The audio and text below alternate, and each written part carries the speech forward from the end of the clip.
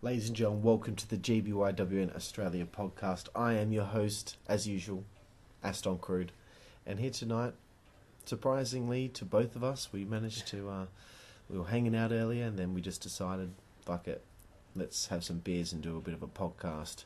I'm talking to former two time ICWS heavyweight champion, WCWA heavyweight champion, SPWS heavyweight champion, ICWS hardcore champion. The accolades go on and on and on. Ladies and gentlemen, the cannibal, Dan Zeplin. Yeah, how you going? I've got to say right now, actually, you didn't introduce yourself as the 11 time. Uh, no, no, you know. Yeah, you do that every time. I do it most times. And I made fun of you for it today. That's probably why I didn't do it because now I've got a complex about it. I'm worried that Oh. everyone's just Oh. expecting me to say it every time. So Oh, you're shaking things up. That's yeah, good. I'm, change- it fresh. I'm changing shit up. fresh man. material. I've got to change shit up. That's the That's way. how, that's how I roll here on the GBYWN Australia podcast. You know, it's, it's expect the unexpected. That's what I said back in XCW. That's what I said back in XCW. That's true. So Dan, back in the day, how did you get into wrestling?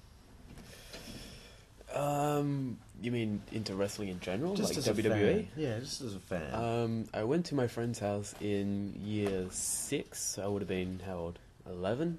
10 or eleven. Um, and yeah, he was into wrestling. He had Foxtel at his house. I didn't. So basically, whenever I went to his house, we started watching wrestling. okay. I loved the typical 11 year old wrestlers, Rey Mysterio. Sorry, Oh, not yeah. 11 year old wrestlers, the people that 11 year 11 olds year olds love. Like, yeah. Um, yeah, Rey Mysterio, John Cena. Um, all Really? those, all John those, Cena? Yeah, all those Shit. cringe-worthy wrestlers. Yeah, So your first memories of watching wrestling was with John Cena. yeah, basically. Wow. Or more Rey Mysterio, I think, at that stage. I was like, yeah, he can flip, he can, he can run fast. Yeah. Yeah, Cool. Big Rey Mysterio fan. Didn't expect that. I was expecting like Jeff Hardy. I was into him later. Okay. Um, later on, I looked up videos of uh, WWE on YouTube Because I couldn't watch at home, so that's the best I could do. And I found a lot of Jeff Hardy clips because of all his crazy spots and stuff. Yeah. So yeah, I got into him later. Right on. Um, so obviously, like your brother and his mates are wrestling fans. Um, they're they're older than you, aren't they? Like DJ and all yeah, that. yeah, two So- years older. So did you hang out with them a lot when it was just like hanging out on the weekend, or would they just like kind of do their own thing and you had your own group of friends, or how did you come into the fold with that group of friends? Um, well, my brother Chris, he was um, involved with them already. He was friends with them uh, through high school, obviously. And he'd gone to this, uh, you know, thing. I heard something vaguely about wrestling before, but I didn't. Me and him didn't really do the same thing, so I didn't really know what it was. But um, then, when I was coming into high school, uh, 2008, um, he basically let me know that there was a wrestling thing sort of going on, and DJ and stuff like that were interested in having me along because they heard that I was into wrestling. oh, okay, cool. So um, yeah, one day I went and met them at the the school library uh, for the first time. Really? Yeah, and uh, yeah, we just talked from there, and, and basically they they were keen to have me along. You struck up a deal. Signed Yeah, the contract. yeah, signed the there, contract, right yeah. there in the library. yeah, So are these like serious discussions? All right, this is our, our idea. We want to bring you in to the UWF. So the UWF had already began at that point. yeah, yeah, they'd already done two shows, I think. Okay. Um, just one per year, I think. So it wasn't like a regular thing by then. Oh, okay.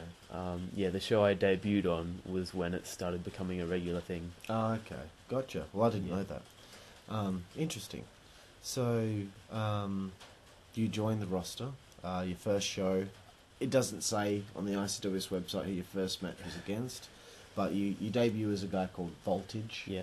uh, which is basically Dan Zeplin. But um, yeah, First of all, why the name Voltage, and uh, who was your first match against? Um, I honestly can't remember where Voltage came from. Um, I remember looking up online what cool wrestling names should be. Okay. It was probably something rubbish like Yahoo Answers or something. Um, you know, I was just trying to find ideas, and I had like Cyclone and you know rubbish like that.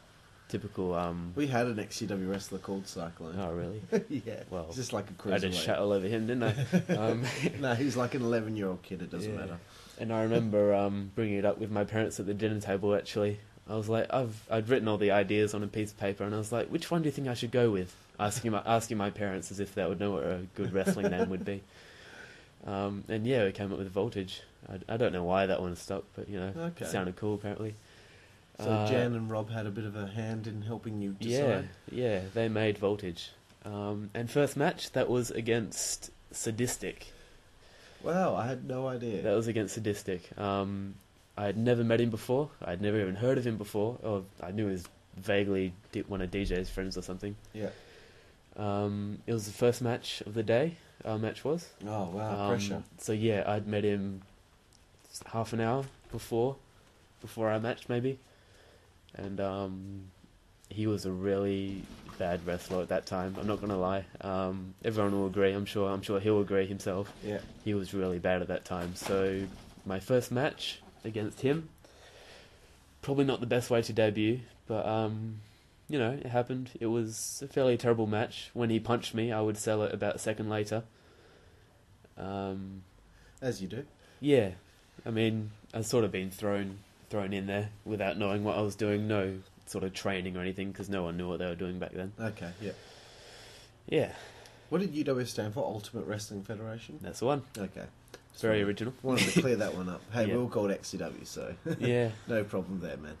Um, okay, so uh, I think from what I read, you, you you wrestled a few more shows. You lost a couple of matches here and there, just to begin with. Um, but as the shows are going along, how do you feel you're um, adjusting to going from you know being just Chris's younger brother now to maybe fitting in and being more part of the group? I loved it. I freaking loved it. Um, I was becoming one of the main, main. Uh, you know, I was within the group with DJ, Eli, and all those, um, all those older guys. Probably every, at least once a week, we would meet in the school library to discuss UWF, and um, That's really cool. yeah, and we would annoy the library teacher all the time. Um, but yeah, we we would meet once a week in the library and talk about it. We would discuss cards, characters, everything as if it was, you know, almost like a professional thing, taking it really seriously. Oh yeah, I know that. Yeah. XCW sleepovers with a big Yeah. Yeah. sleepover. Okay, let's Yeah. plan the whole years of storylines, and then we'll Yeah. forget them the next time. Yeah, yeah, pretty much. Oh, we wrote everything down, so Yeah. yeah, we were one step ahead of you there. Yeah. Um, but yeah, I got to be really good friends with um, DJ and Eli and stuff. Everyone was really happy to, to have me along. If I remember correctly, Wicked Nick James was sort of in a different friend circle who didn't really like the whole wrestling thing, so he didn't hang out with us so much. Kept it a bit quiet. Yeah, he kept it a bit quiet. Gotcha. Um, Um, Yeah. I, I, always find it interesting to see the parallels with when we were doing it, and then when you guys were doing it. And it's kind of like, even though we didn't know each other existed, we did the exact same Yeah. things as each Yeah. other, which is Yeah. Why when I eventually joined ICWS, I was like, wow, this reminds me of when I was like 14. Like, yeah. This is great. Yeah. Um, so, um, was it? I guess it was more of a group effort to um, to come up with storylines and all that. Was there? Yeah, was pretty there one guy in charge, or was it more like a? Not really. Um, DJ, Eli, and Chris were the main guys. Um, uh, excuse moi. Um, but yeah, they they were totally happy to take on ideas and suggestions and stuff from myself and um, you know whoever else was there at the time. Uh, so soon after this, you form a group called, uh, or a team called VCA with Chadyo. What's VCA stand for? That was the Voltage Chadyo Alliance. Oh, okay, Yes. that's that's cool. well, um, no, fairly terrible, but it was cool at the time. Cool at the time, yeah, for sure. We had our own uh, our own what do you call it pose and everything. We both posed together. Oh, excellent. So you, you come up with all that as well. Yeah, yeah. Um, so why was this uh, alliance formed, and um, what was it like working with Chad Yo? Why was it formed? Um, Did you guys just get along? or- question. Yeah, actually, yeah, we we became really good friends. Me and Chadyo were.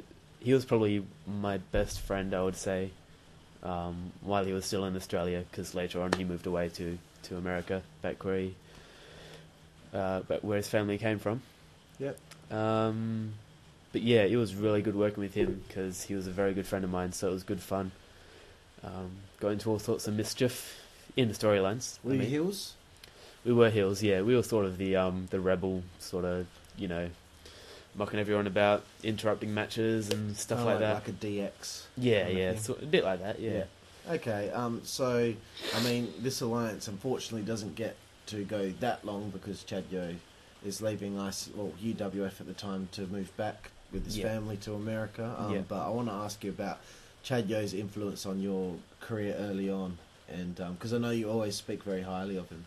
Yeah, yeah, it, it was definitely good being under his wing. I mean, it feels sort of weird saying under his wing because he'd done just two shows before, like two crappy like shows. he's this big veteran. Now. Yeah, yeah, exactly. But it seemed like he was like he knew what he was doing and stuff. So, um, and obviously he had been there before me.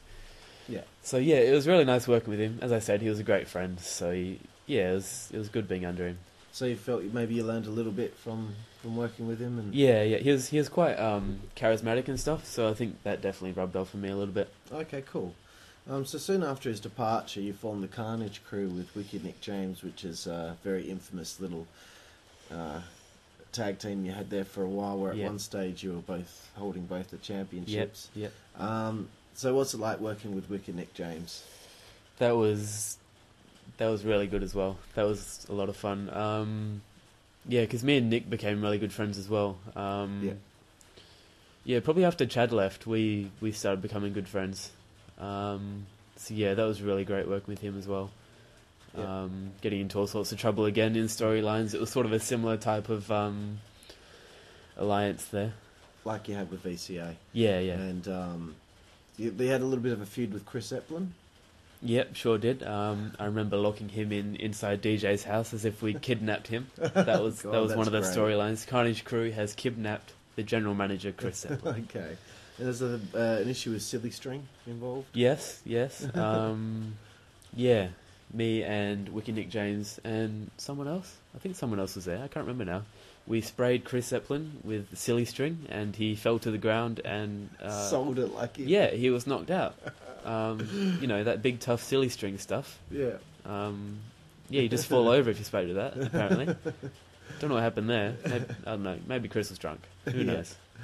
Um, so I know you had a bit of a, a feud with Easy Money of uh, MC Cruel and Nitro, Yep, which we all know as Daniel Johnston. yep, yep. So um, during this time, you're obviously improving more and more as a wrestler. Um, what's it like working with you know a guy like MC Cruel, who's a little bit more advanced? I think he's done maybe he's done a little bit of training at this point. I'm not sure, maybe not, but Uh, um, not at that stage. No, that he he did. He started training a bit later. okay. Um, Um, but yeah, he was definitely advanced above most of us.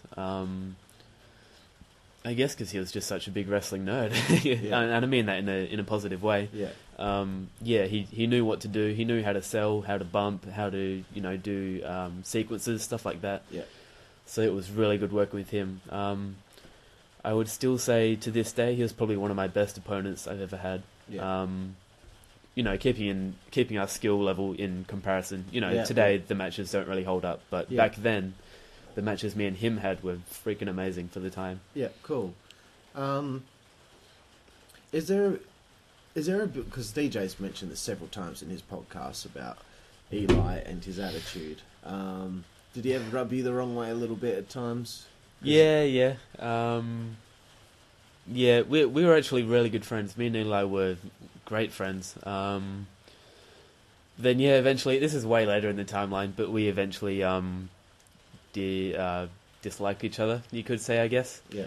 um, and shit went down there. But I'm guessing we'll get that get into that a bit later That, in the that, podcast. that will be later on Yeah. for sure. Yeah. Um, but yeah, I just wanted to kind of cover like his attitude, kind of yeah, at the time. DJ Yeah. always said that he was always like, whatever he, whatever was going to be happening, as long as he looked good doing it, then he was happy. Yeah. It's It, it like, was what quite is like in it that. for yeah. MC Cruel, basically, is what DJ said. Yeah, it was basically like that. But um, but yeah, me and him were really good friends. We we got on well. We would hang out a lot outside of wrestling as well.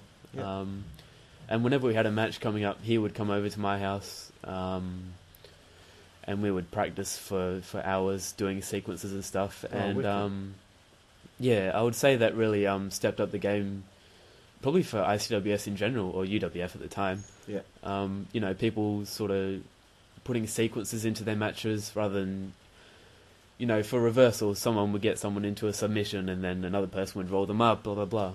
Yeah. Um, whereas before that, it would just be like, oh, punch in the gut. Now the other guy's in control. Now he does some moves, then you punch him in the gut. Now you do yeah, some moves. yeah, that's it. So um, yeah, I think we we were quite we changed the game really with um, a lot of the work that we did. We were yeah, we gelled really well in the ring, Cool, man. or on the base, I should say, yes. or not even the base at that time, on No. the on the couch mattresses. That was something that I, I, I think I forgot to type in there. Just um, the, uh, I guess the evolution of UWF and, and the different locations you were at.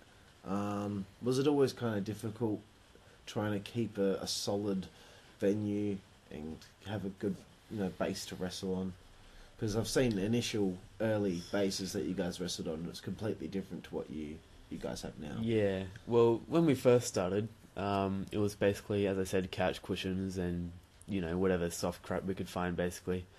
Um, and then um, after that, we'd throw a tarp over it, Ah, yeah, so that would look, uh, you know, totally professional. yeah, Um, but then, yeah, eventually um, we we found some uh, some decent foam padding, which worked really well, but it was quite squishy and thick. So you would when you you know when you stepped on it, you would squish halfway through it. okay, yeah. So that was it was good for bumps. I mean, it looked terrible, but it didn't you didn't feel it when you Yeah. bumped. Um, but yeah, it was really hard to walk on and stuff. So that probably helped us start doing bigger moves and stuff because we could bump on it, but also hindered us because we couldn't really move on it. yeah. Yeah, um, but I do know, you know, maybe not around this exact time, but soon, soon after this, it does end up being moved to your house.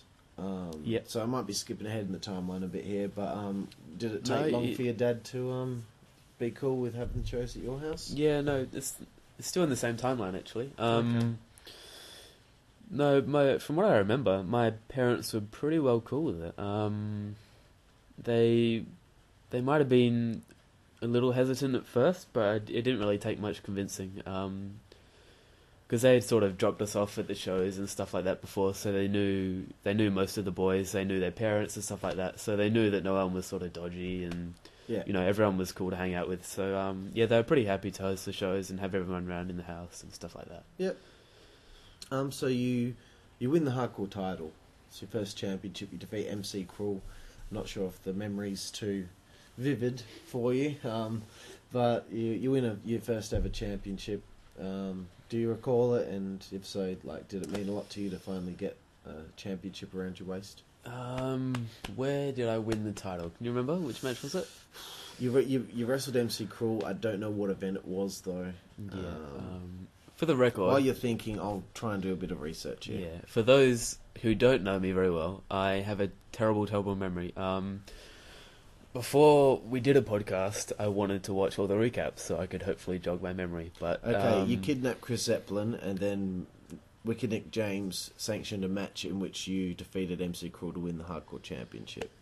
Okay. Um, so I'm thinking this is 2008. So look at the, The match that comes to mind was that Close Encounter, the third event from when we started doing it like full time. hmm uh, by which I mean monthly. Yep. Um, that was the quite uh, popular match between me and MC Cruel. Uh, it was a ladder match. I don't know if that's the one where I won the title, but I want to talk about that anyway.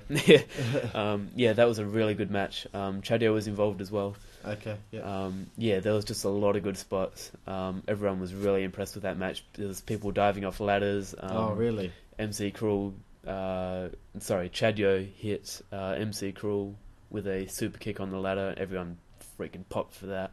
Yeah. Um, so yeah, that was probably quite an influential match at the time as well. Yep. Um, was that the match where I won the, the title? Can you have you found out a yet? look here. There is uh, Voltage defeated MC Cruel in the ladder match to become number one contender for Uh, the number one UWF contender. Championship. Right, that one. Um, maybe it was earlier. Road to Redemption. I've heard that one before. Um, sadistic Painstaking against MC Cruel in that one. Uprising. Uh, it, it wouldn't have been earlier because I didn't win the title that early. No. Up, Uprising was my debut show. Gotcha. Okay. Nitro, no, Knuckles. No, no, no. Big Mac and Blaze in a triple threat. Beat Big Mac. Fuck. oh, it was 2009. Just Anyway. all the shows here on the on the old uh, terrible ICWS website, which hasn't been updated for what four years or something. Mental. Yeah. Um, where's the events? Hell. Chris Zeplin used to pour hours and hours into this website, But um, Did anyone even really visit it? Well, we did. you know, about five people in the federation did. Uh, apart from that, I think we might have got about one view per year or See, at this point, the first show of 2009, you win a match to retain the Hardcore Championship. Bloody hell. See, Reload. The start of 2009 was uh, Reload, if I remember correctly, which was when it was branded ICWS instead of UWF. Gotcha. Okay, maybe Um, those results actually aren't on the website. Yeah. Because the last show of this year, you defeat Big Mac in a match, but the first show that's up there Yeah. Does not state. Anyway, sorry Anyway. for you listeners out there for the confusion. We're just trying to figure out when he won the Hardcore Championship, but you did defeat him for the Hardcore Championship. sure so, did. you end up mentioning if it meant a lot to you? Um, yeah, it did. I remember it did actually. Um, I remember making the belt myself actually. Um, I spent quite a few hours into making that belt. Did you make that Hardcore belt? The hardcore belt, yeah. oh, the, that, man, um, that's a really good the bluish one. Yeah, I was quite proud of that actually. Um, I think I coloured it in with textas, those those little ink, shitty ink pens that you use in primary school. Yeah, So it was pretty good for that, if I may Yeah. say so myself. it's a nice belt. Yeah, good effort. Um, I think we still have that one too. we do. Yes, we- Recently, the ICWS championship was thrown in the bin at the end of a show as part of the storyline, and no one got it out. Yes. So now it's literally at the rubbish tip. Now it's probably you know disintegrated by now. Trust me, I, I've I've been through heated arguments with DJ about that situation. yeah, I think We're I, okay now. I think but I ripped was, into him a little bit I was that not happy well. about the whole situation, um, but that Yeah. can be something we talk about a little bit Yeah, later. yeah. Um, okay, so from there you uh, defend your championship successfully over the likes of Big Mac, Blaze, and Johnny Rocket.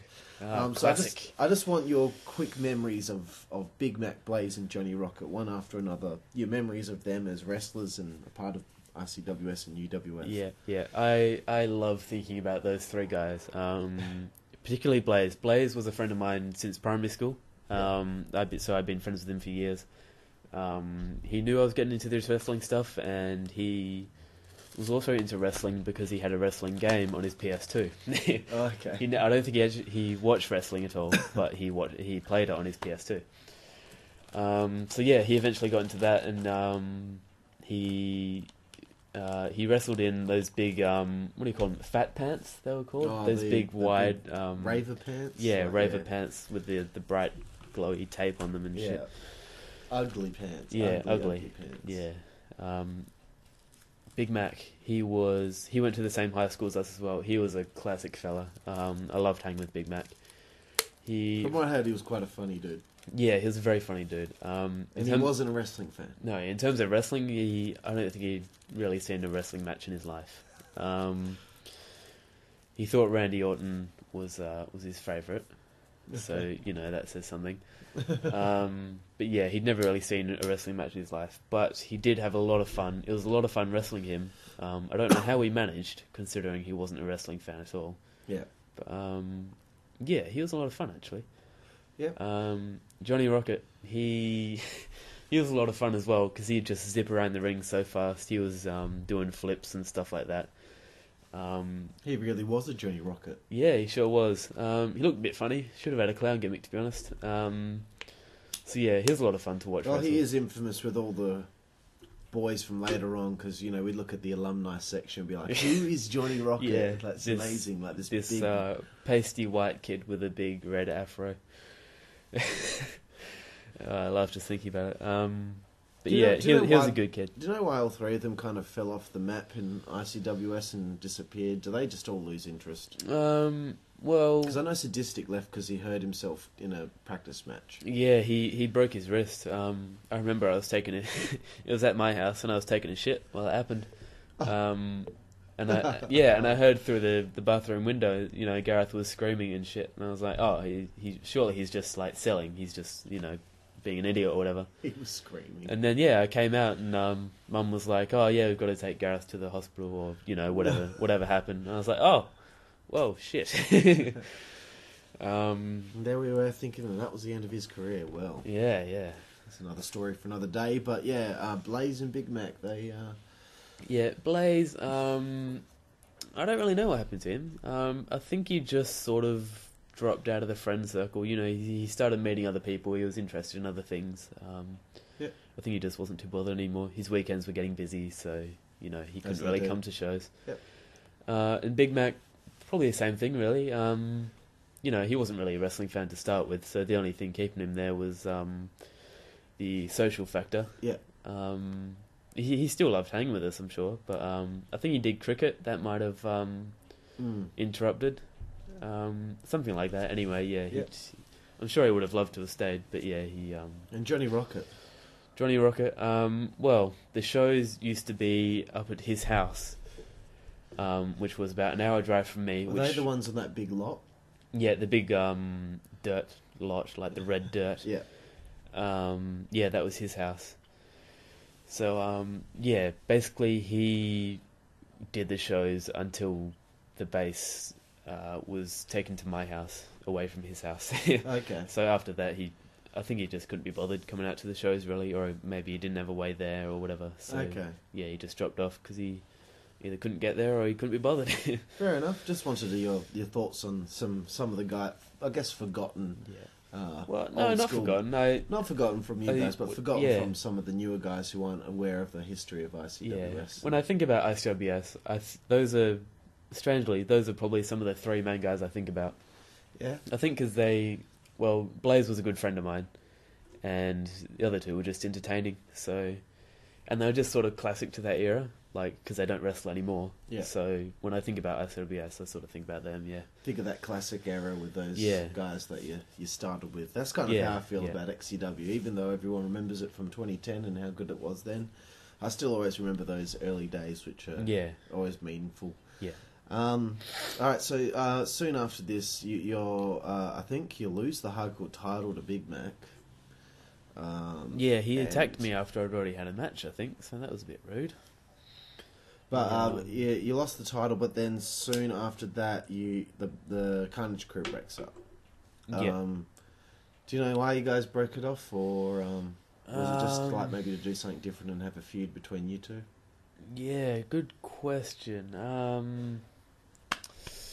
Can't remember to be honest. Um, I think we in storyline we had you know small things happen between us, and then you know gradually we get more pissed off each other and shit like that, and then eventually we you know want to beat the shit out of each other.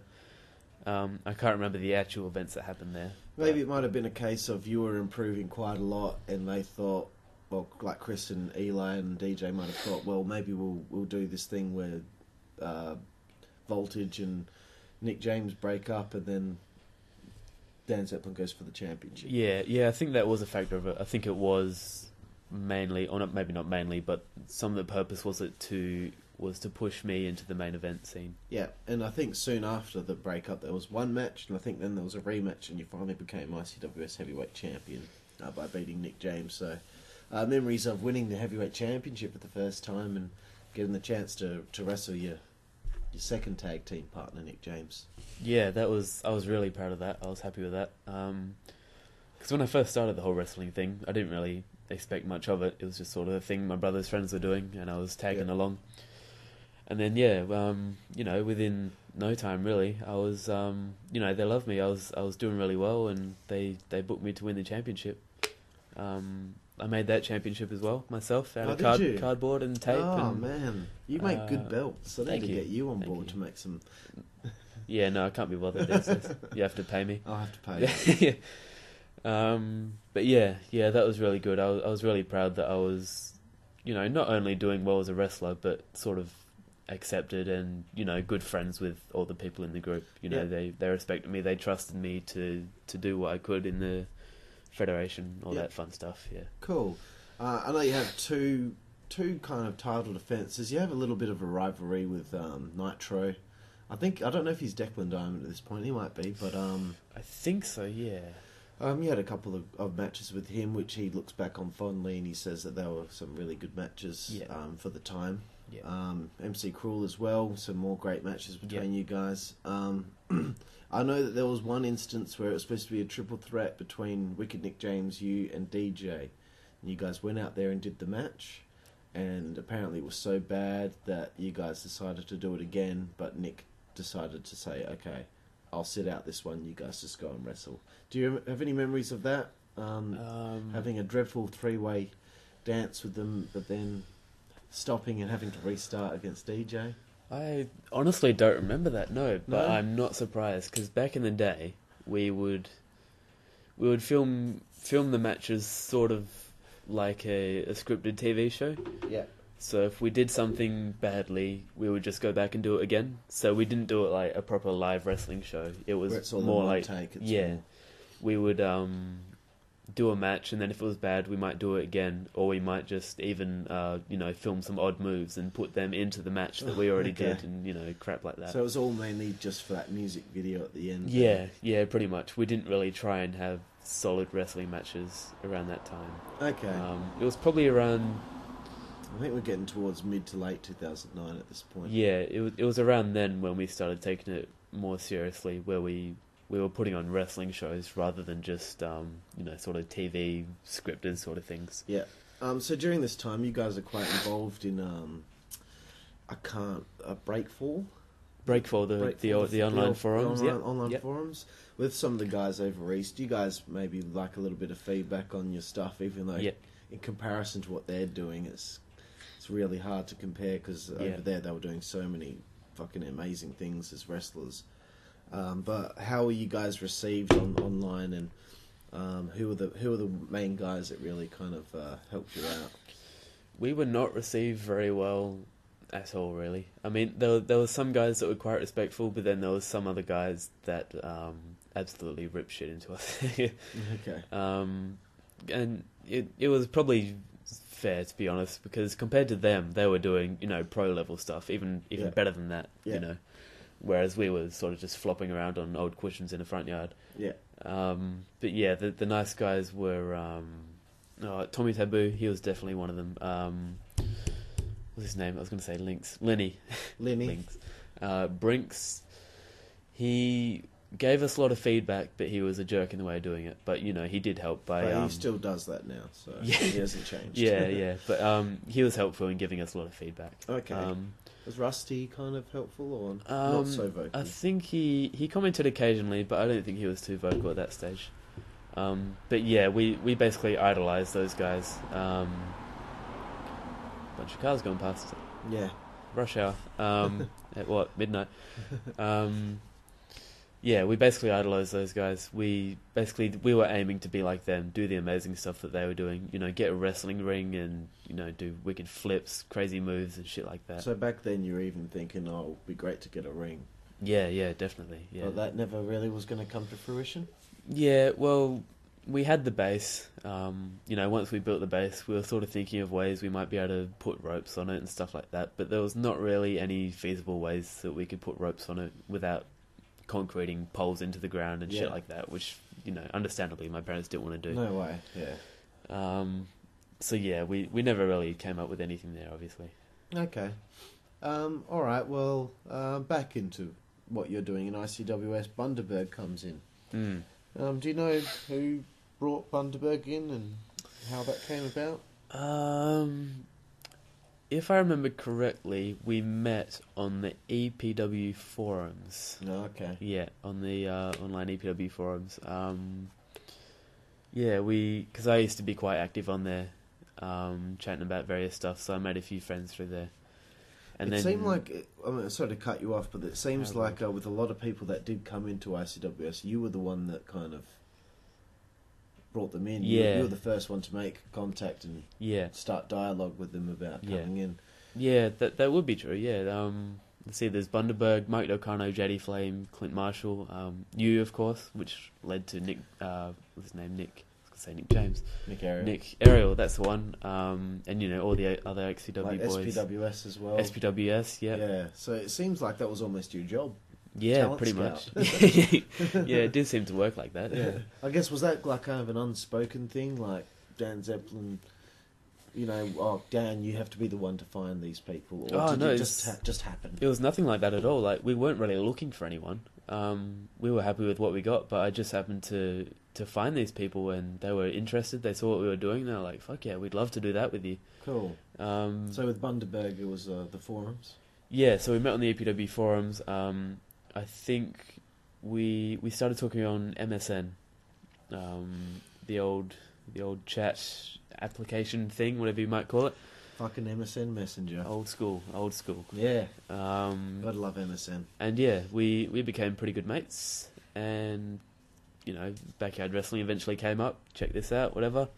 And yeah, he said he was keen to do that, so he uh, he got into it basically. So he- and it- it's quite obvious from day one he's very, uh, very athletic and he's Yeah. very um, just straight onto it, you know. Yeah, very talented. Yeah, Um, and immediately he comes in for a rivalry with you. Um, I think he did a little bit with uh, Eli and yeah. a couple other things here and Yeah. there, but um,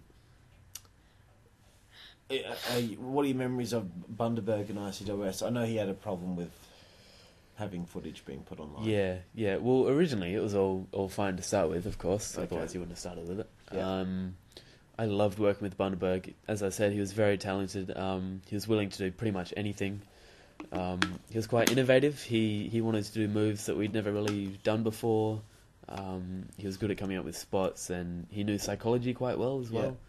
Um, yeah, he did. He just knew what he was doing in the ring, basically, without ever doing it before. Yeah.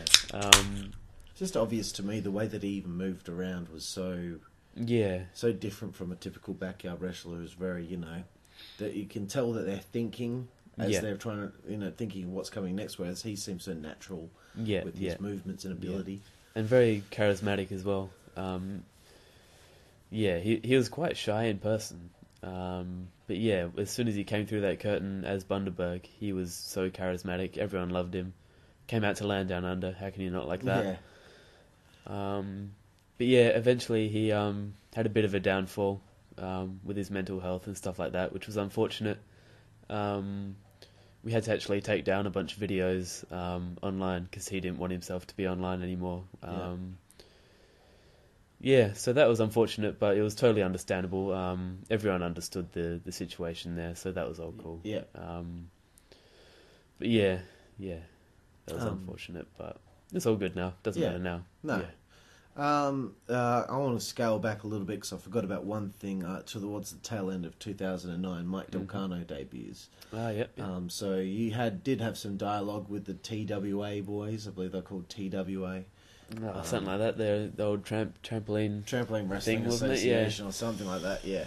Um, which they go into very much detail um, in their podcast I did Yeah. with them last night, um, which was very interesting to hear their point of view uh, as to why it took so long for JD Flame and Clint Marshall to join. Yeah, yeah. But um, Delcano was the first to come on board. So, what were Mhm. you, uh, how did you get in touch with them, and um, and how did you uh, bring Delcano in?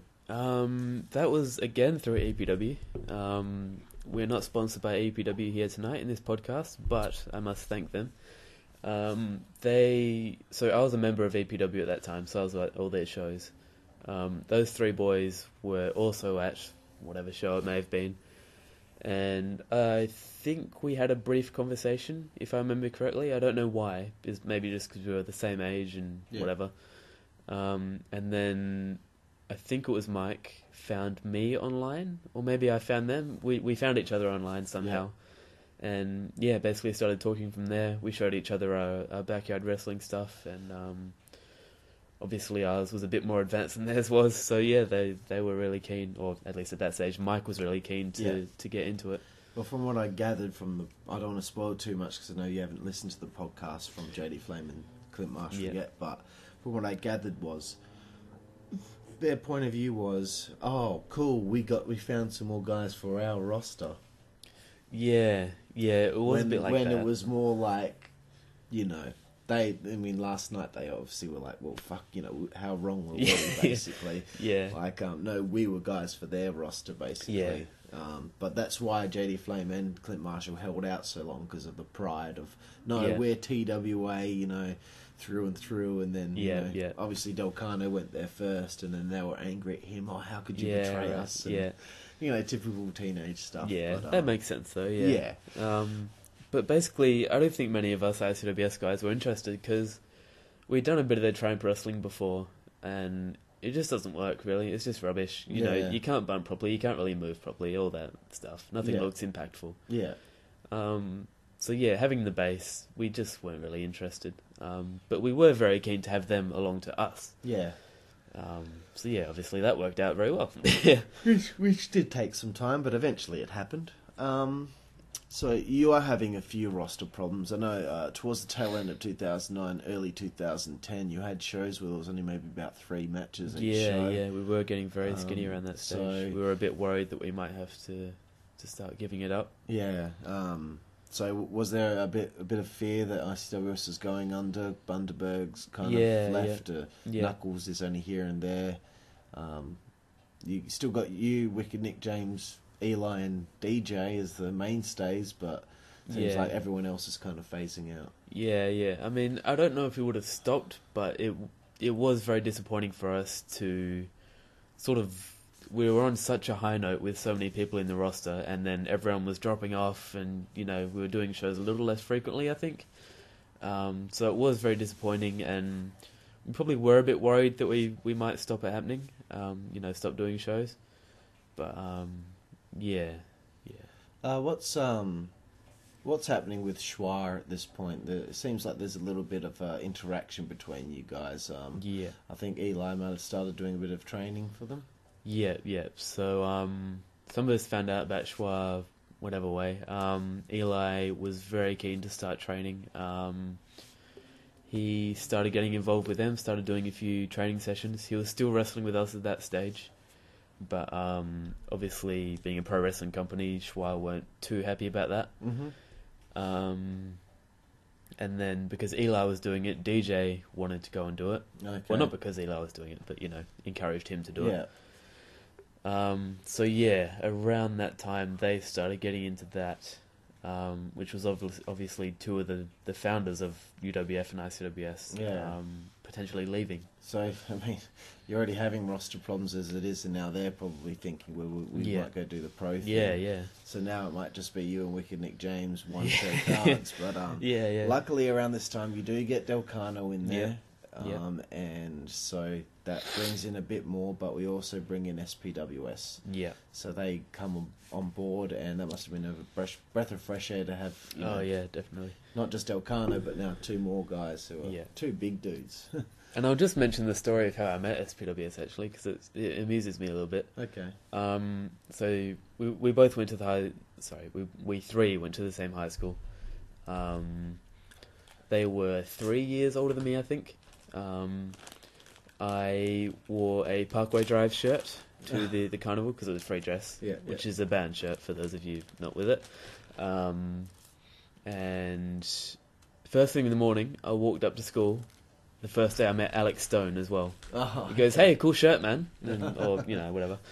Cool And shirt, then- man. Yeah, and then later on, at the end of the the school carnival, heading home, I walked past um, a friend of Josh and Luke's, and they were hanging out the front, and they they mentioned a comment about my shirt as well, Yeah. and so I stopped and started talking to them, blah blah blah, and yeah, that's basically how I met them. And if I remember correctly, I think wrestling came up in that first ever conversation. Really? Yeah, I don't know how, but um, but yeah, I think the first time we ever we ever met, we it was you know set in stone.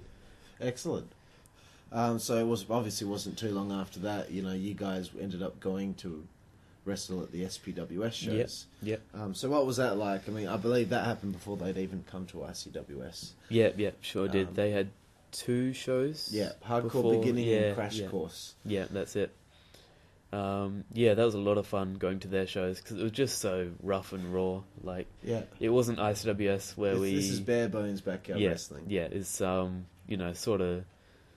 excuse me. Um, sort of like the classic old American shit you would see on YouTube. Yeah. You know, where people were just hitting each other with shit and you know slamming each other on the grass and crap like that, and it was Yeah.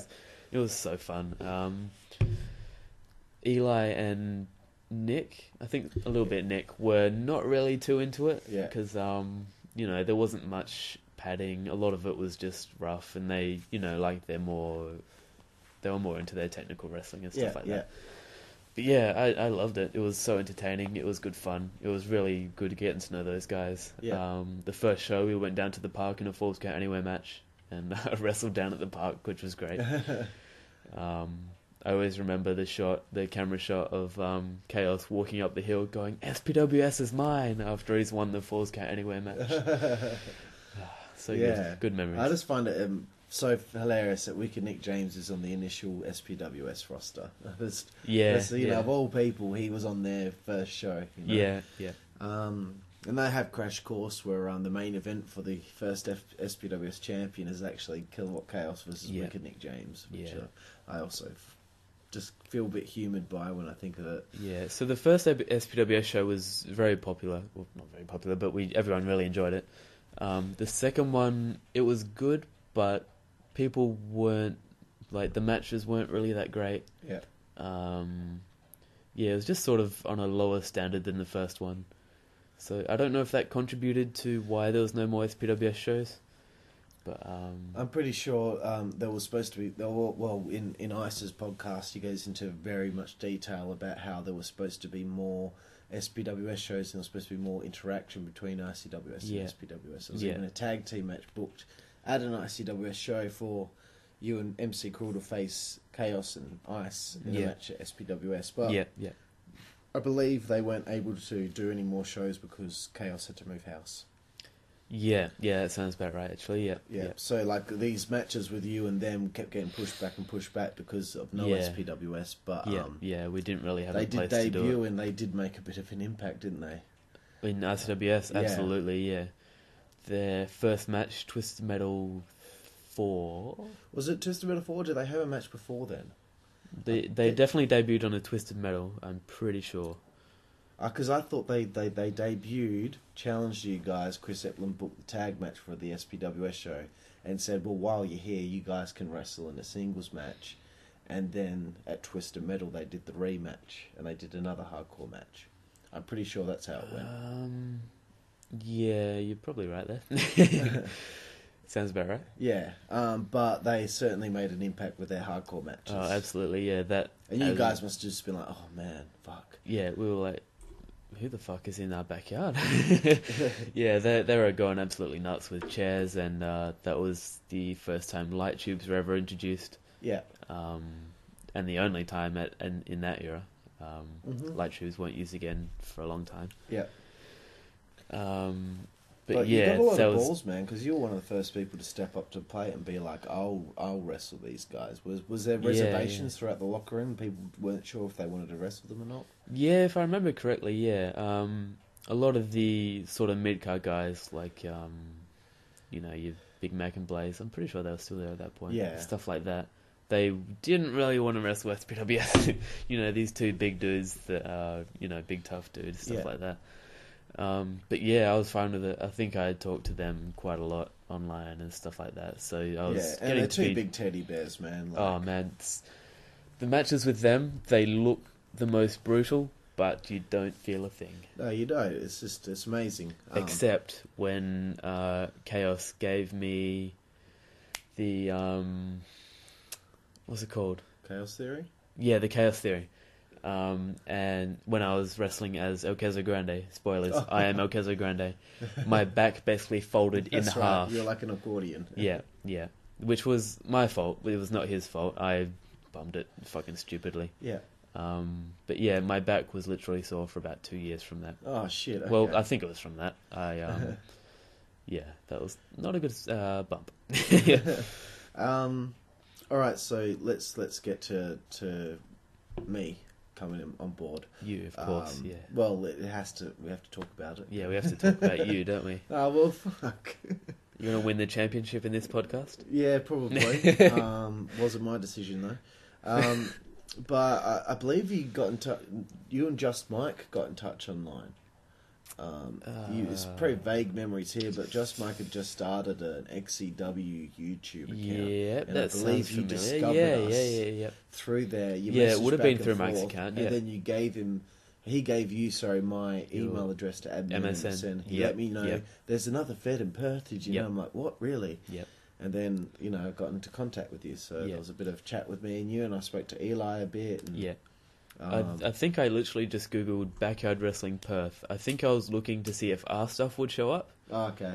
and I found some of you guys' stuff. Um, Because you see, before that year, we never put really really put much online. yeah, that yeah. so um, that's perhaps why we didn't find you before, or Yeah. maybe we wouldn't have anyway. And but I'm surprised that I didn't find you guys because Yeah. I was very still very much into backyard wrestling. Yeah, at the right. time, and, Yeah, Um, 2010 was the year XCW finally came back properly for a solid year Yep. of uh, five or six shows we had.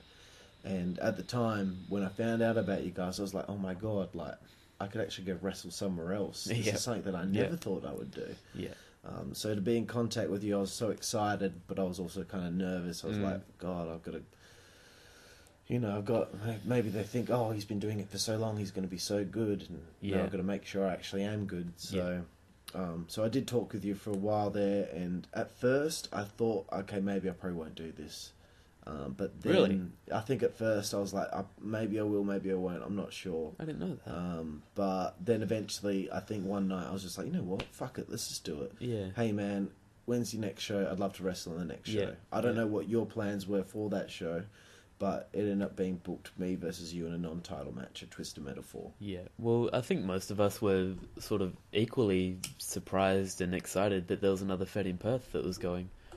So, um, yeah, I think as soon as you you expressed interest in being on our shows, we sort of changed what whatever plans we had Yeah, to accommodate you and Yeah. and all the rest of XCW.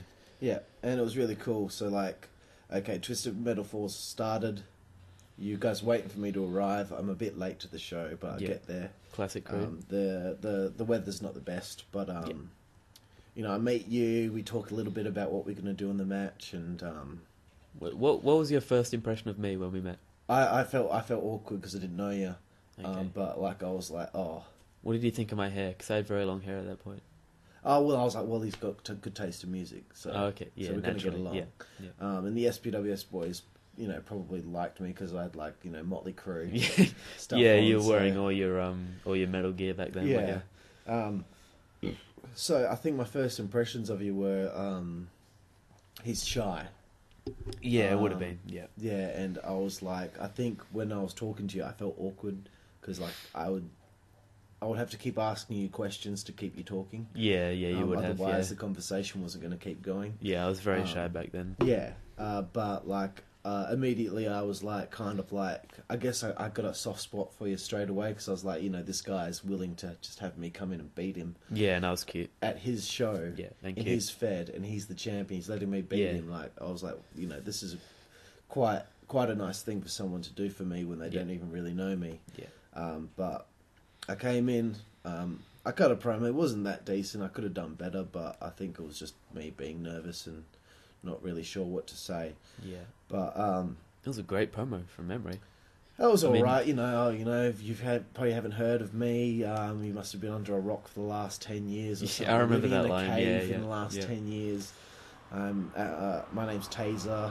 This is just Mike, the tag team champion of XCW, and blah blah blah. Like, Yeah. I came out, I already had heat from the crowd, and I was Yeah, like, yeah. and you can see me discussing to Mike with during my entrance. I was talking to him, and I said, you know, they're, they're booing me already. I haven't done anything wrong. Wait for me to say something wrong yeah. first. Well, I think back then, not many people were too good at promos. Probably DJ and Eli were the main two promo guys. Um, apart from that, no one really did too many promos. Well, we did, but they were mostly terrible. But I just, uh, w- you know, what was what was the ICWS's reaction to to meeting me for the first time? Like, what was everyone thinking of me? Because I don't really know. Well, I don't really know either, to be honest. Um, but I think people were excited, but perhaps like, not, I'm, I'm not several super sure. older, you know. Yeah, yeah, that that was a factor as well. Of course, most of you guys were what four or five years older than most of us, more Yeah. than that even. Yeah. Um, yeah, No, no, I got I, I, facial hair at this point. yeah, yeah. I think most people were were totally happy for for you guys. Um, because back then we we pretty much discussed everything that was happening between everyone. You know, it wasn't just the bookers that knew what was Yeah. going on. Everyone knew what was going Yeah. on. So um, yeah, it's not like people were genuinely surprised by you coming along. Unfortunately. um, so yeah, I think everyone was was fairly comfortable with it. I don't think there was any problems from. Okay. Um, anyway, so we have the match. Um, unfortunately, it starts pissing down with rain when I've got you in a figure four leg lock. Yeah. So we're drenched, and um, because of that, I go. I have a mind blank. Yeah. So I'm like, I don't know what you want to do, dude. Should we end this now? And unfortunately, it ended a little bit sooner than I think we would have wanted it to. yeah, but, um, yeah. I guess it was giving them a taste of what we could give them the following show. Yeah, you um, could put it like that. yeah. and just thinking now, I I find it weird how I, I just trusted you to just have a match with you. Yeah. Because I was, how old was I? 15 maybe? 14 even?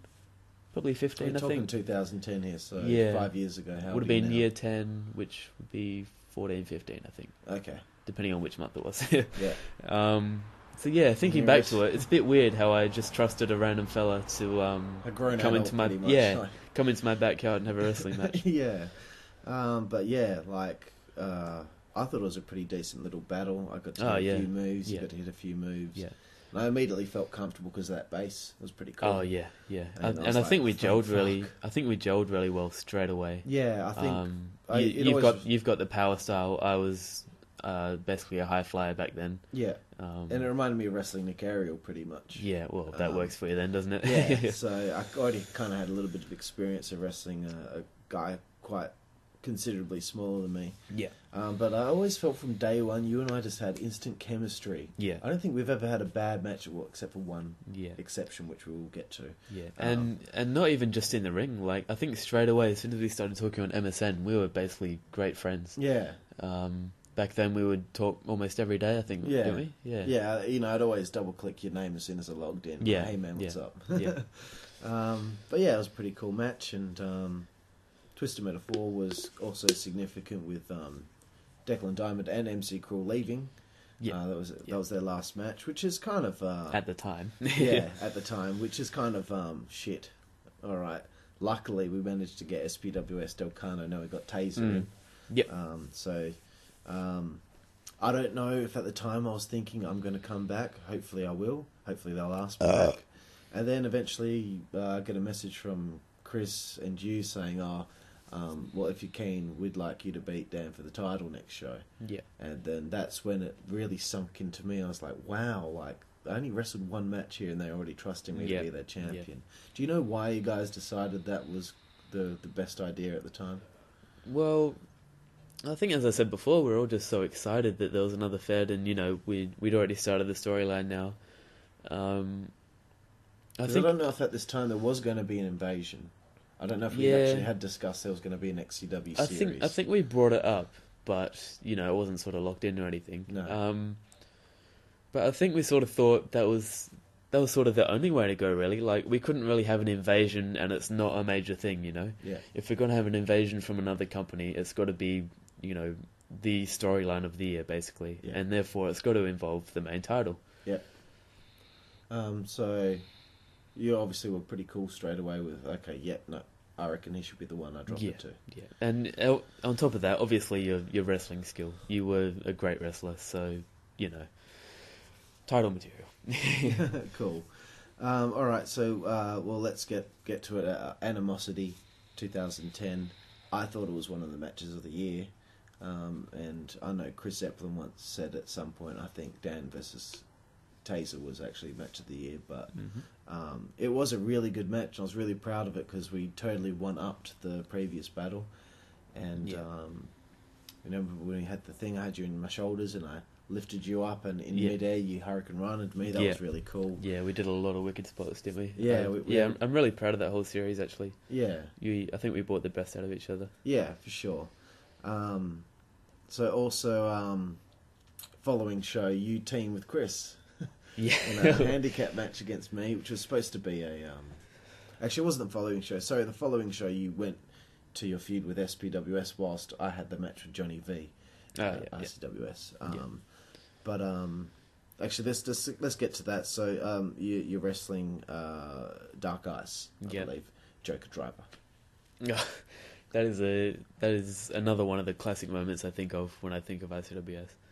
That was probably the first, well, maybe one of the first like really brutal sort of technical moves. What do you call it? Yeah, That that uh, anyone had done, especially like a neck bump back Yeah. in those days. Absolutely fucking nuts, and being the first move in the match, like the match opener, It's flawless. it was yeah. And if I may say so myself, we did a fucking perfect job of it. Yeah. and that was a pretty cool match. And um, Yeah, so- the rest of the match was solid as well. so yeah, that and uh, you and Ice too always had great chemistry. oh, definitely. Yeah, he's probably my favorite opponent. I would say. I don't think we've had a bad match. No, I don't. I can't. No, every time, every Yeah. time you've battled, it's always been great. Yeah, we just know what each other is going to do. Yeah, Um, as I said before, he's a big teddy bear. I know I can trust him. yeah. Um. All right, so we get to Pain for Pleasure, where you team with your brother Chris in his only match that he ever has against me in a handicap match. Was supposed to be a tag team match against the Heartbreakers, but Yeah. Um, John was unable to make the show, um, which will be a recurring theme from there on.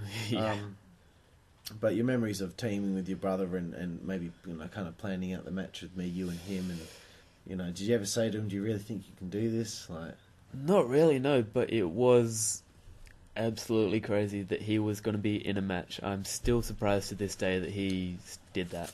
Um, because I made a point of saying, like, look, if I'm going to be here only for a little while, um, I want you to in this feud. You, I think you should wrestle me. I think you should. If you're going to ever do it, now's a better time than any. yeah, and I think you are probably the reason that he did it. I, you know, if you didn't, if the whole invasion thing didn't happen or whatever, I don't think he ever would have got in the ring. Um, No. yeah, and no one in UWF, ICWS ever thought that Chris would wrestle. I don't think. yeah, it must So- have been a must have been a hugely hyped up match because Oh, it was was like crazy. on the edge of their seat. Oh my god, we're going to Yeah. see Chris actually wrestle. Yeah, and when he came out wearing the kick pads and all that, oh, man, so it was good. so good. It It was oh, that again. That's another thing I think of when I remember ICWF. Yeah, that was incredible, man, and It was an incredible moment. No one ever thought they would see that. yeah, and um, the tornado DDT he does to me. Oh, uh, fuck's sake. That got moment of the year. Insane, insane. Yeah, Um, someone doing a tornado DDT one moment of the year. That's how insane Chris wrestling was. but, It's um, it's just something that shouldn't have happened. and I think he did really good. And you know, Oh, I reckon so deep well. down he probably always wished, oh, I'd love to at least have done it. Yeah, Like I don't yeah. know. uh, I mean, I guess he just thought, oh, well, I'm not suited really physically to do anything like yeah, that. Yeah, probably. But I've, yeah, I think you're right. He probably did want to do down. something like it Yeah, in in to you know to some degree. yeah. Um, So- and I think what we did was obviously absolutely perfect. Yeah. that that was the way to do it with him. Yeah, and uh, I was very proud of that. And straight off the bat, you know, this is four shows I've been in, and uh, the storyline is going along so well, and I'm so proud of it at this time, and I'm proud of everything that I've achieved so far. Um, and then I believe from Pain for Pleasure, we get to the big uh, invasion. Um, but before we get to that, I'm gonna scale back again. Um, You're all over the place tonight. I, Aren't you? gotta, I, I, I keep forgetting certain things. And JD I've just got the image of Chris in kick pads in my head now. uh, JD Flame debuts at Twisted Metal Four. Ah, yeah. Um, so just thoughts on your initial thoughts on a young JD Flame, um, and his Uh, attitude. He, I liked him, but he was pretty hard to handle. Um, that was my opinion. Um, not really. um, yeah, he was. Um, I don't really know how to say it. Like he, he was quite hyperactive all the time. He he was very. He said things that people didn't really want to hear. You know, stuff like that. He sort of got in people's faces, like outside of the ring. You know, when when you're a character, it's alright. But he did that all the time. Basically, his gimmick of telling everyone to shut your face and you know being a big heel and stuff. He was sort of like that in real life. Mm-hmm. Um, people liked him, but he, you know, everyone knew he was a bit hard to handle at the time. Okay, but decent heel, very decent. Oh, in the ring, heel. he was really good. Yeah, yeah, He yeah, was a very decent heel, I will say. Um, yeah. and al- almost straight away, he was. Um, he did an amazing job. You know, people knew he was. He was there to stick around. Yeah. Uh, so yeah, going back to ICW's Affliction, we do do the full scale XCW invasion where we beat down on. We actually beat down TWA, which is amazing. Like we beat up JD Flame, Clint Marshall, and You Mike, did too. I, Mike was the I never realized that before. Yeah, Yeah, I didn't right. realize it until last night, and I was laughing Yeah. about how. Like we didn't actually end up really beating up ICW, we just beat up TWA. That's amazing. yeah, Never noticed that. Um, but yeah, that was a pretty cool moment. Um, but Clint Marshall debuts, and um, immediately, I believe everyone's on board with the push for Clint Marshall. Um, yeah, yeah, I guess obvious from day one, he's quite good. pretty much. Yeah, he came straight in and he knew what he was doing. Um, he was a very impressive wrestler straight off the bat. Um, us bookers, as you might call us, uh, which was DJ, myself, and Eli and Chris. Yep. Um, yeah, basically we all we all wanted him to to get to the top fairly quickly. Excellent. Yeah, we knew So- what we wanted to do with him. Well, that's pretty cool. It's kind of like as soon as there's a new guy on board, you guys know we've got to build to the future at some point. So let's start building him now immediately Yeah. because he's showing good promise. Yeah. Um, And okay. I, I think part of that was the excitement of having new people again, um, because we were getting all these new people, and almost everyone was great. So it was, yeah, um, but yeah. On top of that, Clint was a was a standout at the time because he could pull off all these wicked power moves, which most people couldn't really do at the time. So, Yeah. and he just had the charisma and all that fun stuff. Yeah. Yep. Um, so before we get to XCW versus ICWS at Halloween Hell, uh, you get to wrestle at XCW Retribution. It's a night show that we have in Mount Lawley, Yep. and you face MC Cruel for the ICWS champ. Oh no, were you champion at this point? Uh, I think this was before you dropped the belt to me. I think you did defend the title against him because I remember you having the belt. Yeah, actually, think yeah, I think so. I think so. Yeah, yeah. I came out with the title. Yeah, But it, it must have been pretty cool for you guys to, to get in at the tail end of XCW and wrestle at the night show, which you probably never thought would ever happen again. Yeah, I I was really stoked that I got to be a part of XCW. Um, not although at the time I don't think I really knew the scale of it because I didn't really. I did know that it'd been going for ten years or however long. Yeah. Um, but yeah, looking back on it now, I appreciate it more that I was a part of it. But yeah, at the time, I it, it was great as well. Um, my first memory from that is um, entering the the arena, and there, there was a decent crowd there, and I went to high five a bunch of people, and they just didn't really know who I was, so I don't think they responded. Oh, Okay. They they gave me a bit of an awkward, you know, yeah. crappy high five, and Yeah. Yeah, and I was like, oh, all right, it's uh, a bit of a different crowd, isn't it? I didn't really know how to work work a different crowd that I wasn't friends with, if you know what I mean. Okay, gotcha. Yeah, Um, but I do di- distinctly remember uh, you were very thought highly of by the XCW guys, and I think a couple of them, I think maybe John might have said, "Oh, it's a shame that we're wrapping things up soon because he would have made a great addition to XCW." Yeah, right. And it would have been Yeah. interesting to see what we could have done with the Dan Zeplin and XCW. Yeah, yeah. I mean, I can't even imagine um, how cool it would have been to have you in the Extreme Carnage division with Nick Yeah, Ariel and Johnny yeah. V and Just Yeah, Mike. that would have been insane. Yeah, yeah, it would have been really cool. But I'm glad to hear that though that they thought highly of me. I did sort Yeah. of feel that because um, like I- even I Twenty did- Two Horny said, like, "Oh, that Dan Zeplin was like pretty good. Like, yeah, like he's Well, better than most of us, really." well, I think online I talked to yourself, obviously, John, Mike a little bit, and I think I even talked to Vaughn a little bit. Um, so yeah, I, I definitely appreciated them um, sort of giving me compliments because, as I said, I I didn't really know how to work a new crowd, so it was good having sort of a few friends that I could try and work with there. yeah, and you did have total respect from pretty much everyone, all up and down um, the roster. Um, Cheers, guys. Yeah. um, so um, also during this time, Wicked Nick James is losing interest. Mm. I believe he he. Big. Pardon me. After Big. Twisted Metal Four, when he beat the uh, play group Yeah. in a squash match, um, from there, basically everything he did from then on was pretty much put over the new guys before he was leaving. So he lost to Mike Delcano, he lost to Clint Marshall, Yeah, pretty much. um, yeah. and he was pretty much weaning himself off to being out of ICWS. yeah, Um, basically, yeah. so, what are your thoughts on you know losing another one of those originals where really you know you, you've lost MC Cruel, Declan Diamond, now Nick James, and now pretty much, you know, ICWS is pretty much you, Chris Zeplin, and Yeah. all the new guys you've brought in. Yeah, yeah. I was very disappointed to see Nick go because I think we were still very good friends at that time.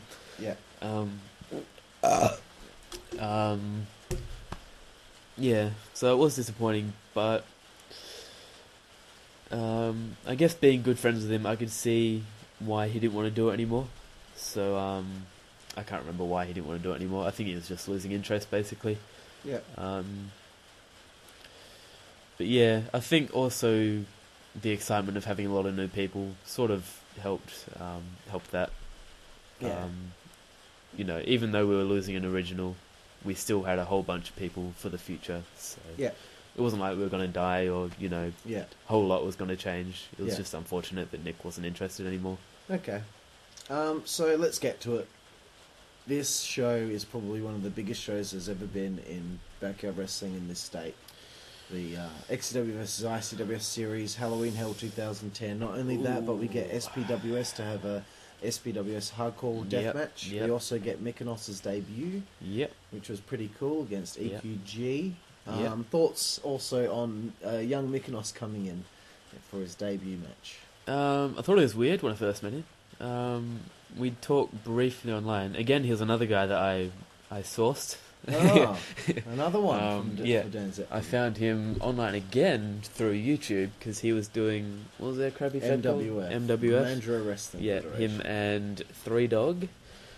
Um, yeah, so I found them online again, started chatting, and he was interested to join us. He lived about an hour's drive away, um, so he was hesitant at first, I think.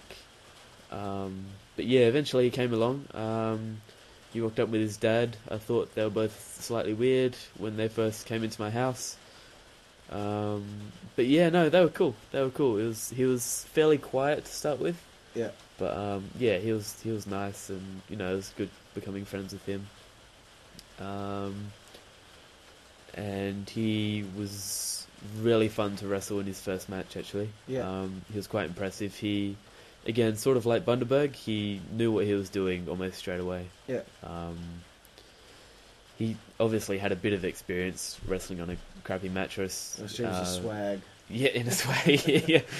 Um, in MWF, but um, yeah, as soon as he got on the base, he just he was flying. Yeah, Yeah, it was. It, it's just from the get go. You could see that the guy had it. and, yeah, um, just I don't talent. even think he realised the magnitude of the show that he was actually wrestling on. Yeah. It was actually like, you know, the two main federations in Western Australian history are having Yeah. a series, and he's probably just like just thinking it's just a regular show. Yeah, if I I don't think he knew too much about us or probably anything about you guys. To be Yeah. honest, um, I think I, you know, I came in contact with him and he might have watched a couple of videos and he was like, "Oh yeah, that's all right, I'll do that." Yeah. I don't think he really knew anything about the history or you know how long we'd be going, how long you'd been going, Yeah. stuff like that.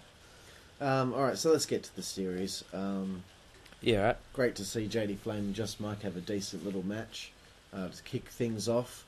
Um, seeing Just Mike wrestle JD Flame is just Oh, that. nuts. you never thought. You why never why think- would that happen? why would that happen? How? You know, the two, Insane. the two mid card heels are against each other Yeah. basically, but I love seeing that. yeah, and uh, that was pretty cool. Um, and from there, uh, unfortunately, Johnny V did not make the show, so I had to fill in for him to wrestle Declan Diamond. Yep. And when you watch the match back, I don't even know if I even realised it, but I barely even gave him anything. Oh really? I think he hit a clothesline and that's it. He hit- Poor guy. I'm, Yeah. I'm surprised he didn't um, have a big hissy fit over that. Yeah, well, I mean, uh, yeah, it was basically a squash match, and I don't Oh, know. right. That's embarrassing. Yeah, I, felt uh, you know. Whose fault was that then? Looking that your back, fault? I feel bad about it, but I didn't even realise at the time that he barely got any moves in. I thought he Yeah, did, right. but he didn't. Was so- that your fault, or he he I just think didn't it's call just- anything? I think it's just a fault of us just having to do this on the fly because we were Yeah, expecting to wrestle enough, Johnny yeah. V. But initially, it was actually supposed to be Mike Delcano versus Johnny V, but he Yeah. broken his uh, um, collarbone or wrist or whatever it was. yeah, wrist at Um, that time. I yeah, think. I think yeah. his wrist. Yeah. Um, Yeah, he he uh, didn't he do a backflip off a tree at school or something, and he broke his wrist. probably, that right? Yeah, yeah. something like that. Anyway. I mean, imagine Delcano versus Johnny V. That would have been excellent. oh Jesus! If I could see that today, I Right. would. We missed I would out pay them fifty bucks each. We missed out No more. it, and uh, unfortunately, it never happened. But uh, from there, we get to see this incredible match between Diffuser and Clint Marshall. Oh, um, ridiculous match. that was just They'd above met and what beyond. an hour before the match, not even. yeah. They didn't even know each other. Yeah. and you know, Zibby was saying in his podcast last night about how they went out the front and they practiced some things, Yeah. and You know, um, Bonner was getting Zibby to do things he'd never done before, like when he had Yeah. him in the electric chair and he turned around and gave him the Hurricane Yeah, Rana. yeah, You know, Zibby had never done a Hurricanrana before, but yeah. It was it was it was insane how uh, Zibby, Clint Marshall had was sort of playing a bit of a high flyer in the match Yeah, because prior to that he was one of the biggest uh, powerhouses in the Fed because Yeah. he he could lift everyone and you know he was fairly tall Yeah. compared to the rest of us. yeah, Whereas you know obviously when Diffuser came in he was looming over Clint Marshall. And, Yeah. you know he was the stronger one. So it was interesting to see Clint Marshall adapt to that. It was really impressive how well he did it as well. yeah. And I'm really proud of uh, just to see Diffuser go out there and Yeah. and against this young kid who's this is this is actually Zibby's third match in ICWS. Yep. So to see them go out there and have what was voted as match of the year was just incredible. Oh, nuts! Yeah. and um, it really kicked the series into high gear because I mean, JD Oh, Flame yeah, and Just Mike yeah. was good. Um, me and Declan wasn't so good, but That match was and that's when everyone realized, oh shit, this is yeah. going to be something yeah, big. yeah. And then what do we get next? We get Dan Zeplin versus Nick Ariel. Oh shit! Oh shit! So So um, we had wrestled once before when I was as El Caso Grande, right? no. That happened. Was that the- after? That happened the year after. Oh shit! All right, ignore me. Don't Once I'd me. come back, Nick decided to come back, but he only ever had that one match against EQG. Oh yeah, okay, yeah. Oh, that's right. Yeah, don't Yeah. mind me. I'll go now. um, but yeah, wrestling Nick Ariel. Um, I loved that you guys were playing up the whole tit for tat Yeah, kind of thing. yeah, one up one another with the. Even though he was a bigger dude at that point, but Yeah, you it were was- the Nick in it- Ariel of of ICWS. He was the Dan Zeplin of XCW. yeah. In our own feds, we were both the high flyer, but when we met, he was you know almost double my size. Yeah. but yeah, we we both played the high flyer, um, and it worked really well. As you said, tit for tat. We um, yeah, I think we planned that one really well. The psychology of that was quite a good match actually. yeah, like which is you- not something I was really known for. Psychology is not my strongest yeah, point because I tend to lose myself in in matches. I don't really know what to do when because I, as I said, I lose myself. So And I think Nick really enjoyed the fact that he was actually bigger than someone for once. yeah, that makes sense. Yeah, And um, you know, I love the spot where you gave him a, a head scissors takedown, then he immediately gave you a head Yeah, yeah. takedown. I love planning that match with him because it was just so fun. Like thinking about what we're gonna do and then actually pulling it off, and everyone was popping and shit. yeah, it was so good. and you know, we already had Diffuser and Clint Marshall, but now you guys are continuing on Yeah, with the excitement. Continued the He the level. the yeah, 450 splash. Yeah. Eventually, you hit him with the uh, sliced bread and get the victory. Yeah. Um, so that levels it all up at two yeah. two. It was so fun wrestling him. I would love to wrestle him again. Well, hopefully we can line that up. um, Hopefully. before he hangs up the boots. Um, and uh, the main event is me and MC Cruel in his last ever backyard wrestling match. Yeah.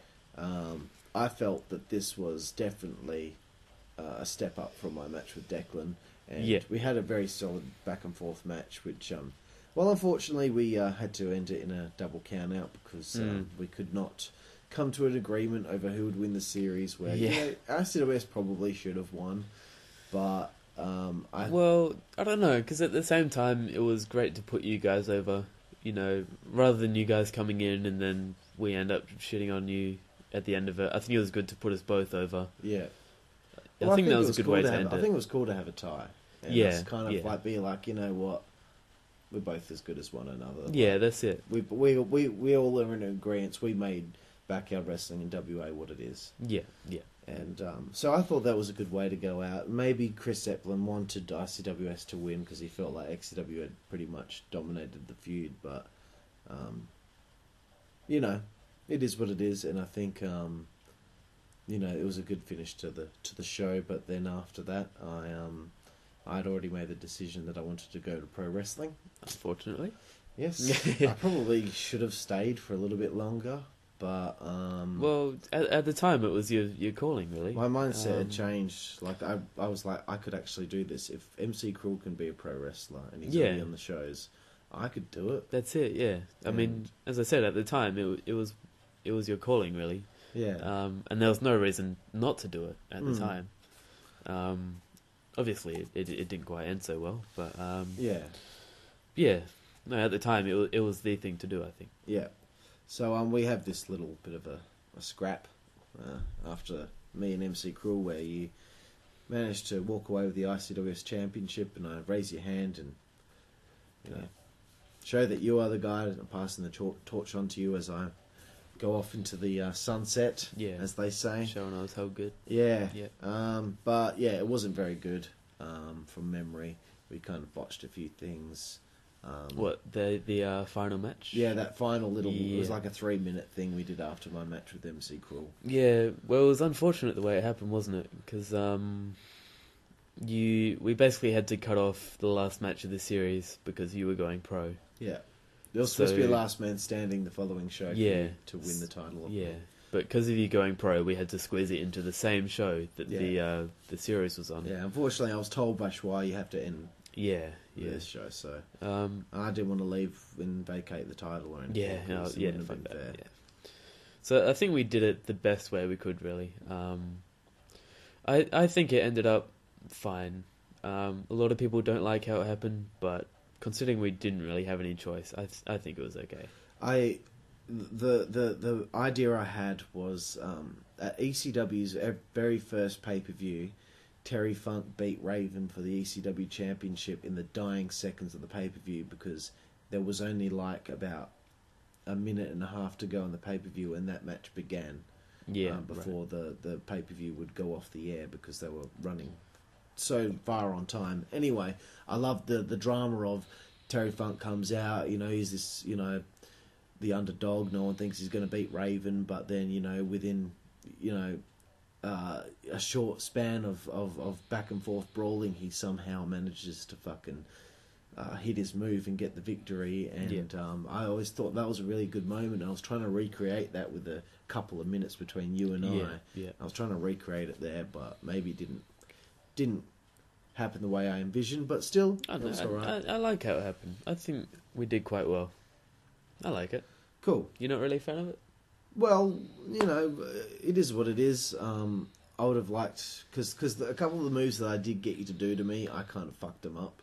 I think Mm. maybe I was a bit tired, but No, we were Um, both. I botched a little yeah. bit, but- I'd I'd had three matches. You had what two, two or three? yeah. Yeah. um, so yeah. Anyway, I think it was raining as well, wasn't it? no, no, it was all right at that Oh, point. right. Um, but yeah, uh, still, um, that's the end of XCW's run in ICWS, and now you're going to Mhm. continue on, continue forward into uh, the end of 2010, moving into 2011 with your feud with SPWS. But we'll end it here as at, at the end of part one. Uh, we're getting to an hour and 20 minutes so far, so I knew it'd be a long one. The same thing happened with DJ. Um, Really did The- not the- feel like an hour and twenty minutes. I thought it'd be going like forty minutes. the early UWF stuff being added into it always makes the first Mm. part of the ICWS stuff a bit more, Yeah. um, a bit more longer than than what we usually have with the uh, ICWS section with everyone. But um, thank you. No for problem, man. Doing part one here with It was a interview pleasure. with you. Um, Thank see- you all for listening. I've been joined by Aston Crude, the 11 time heavyweight champion. I am the cannibal Dan Zeplin. Thank you for listening. And I just stole Aston's thunder. We'll be with you with part two for the ICWS interview. I don't know if we're going to record it now. See how you feel, but we might do it tonight. Might do it tomorrow. So Surprise. excellent. Thank you, Dan. No problem.